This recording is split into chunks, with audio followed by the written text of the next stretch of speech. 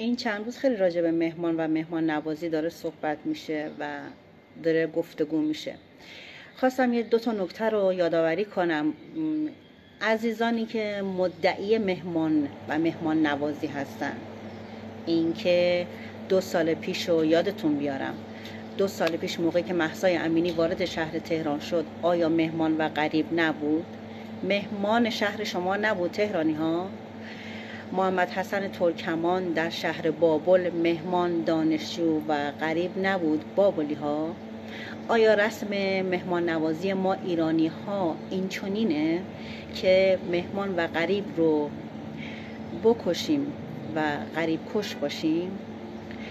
یاد بگیریم که با صداقت رفتار کنیم یاد بگیریم که ظلم نکنیم یاد بگیریم اگر ظلمی در حق کسی میشه مقابلش قرار بگیریم تا ظلمگیر نشیم. یاد بگیریم.